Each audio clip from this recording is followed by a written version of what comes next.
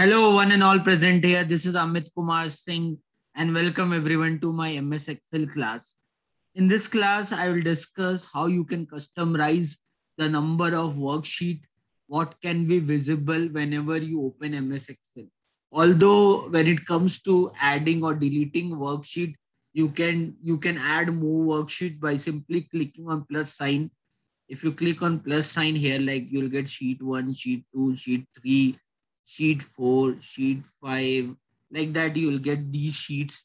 Okay sheet 7 sheet 8 like that you'll get a lot of worksheets.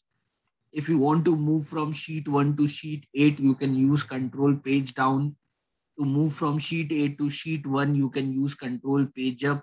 So you know these shortcuts right? You know this uh, how to work on control page up control page down okay if you want to use you can you know right from sheet 1 to sheet 8 control page down. You can use you can use uh, you can use shift command shift control page up shift control page down to navigate from one sheet to another sheet in in in ms excel. In ms excel you have a workbook.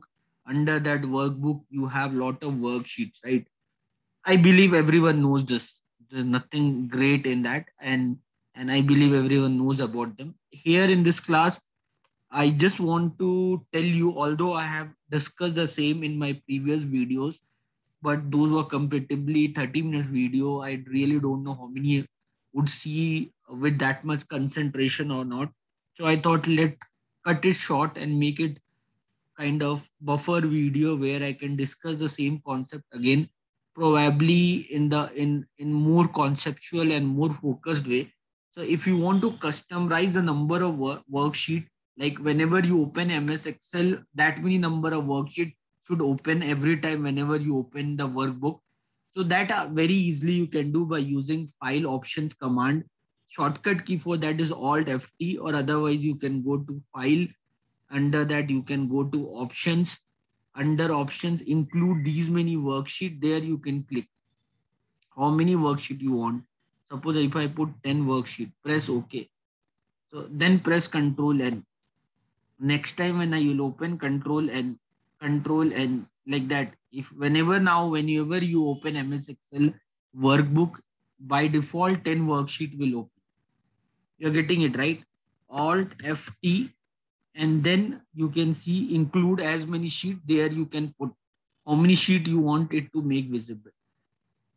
Clear everyone like the same way you can change your font also. By default what font you want to use while writing what should be your font size everything you can you can you can customize.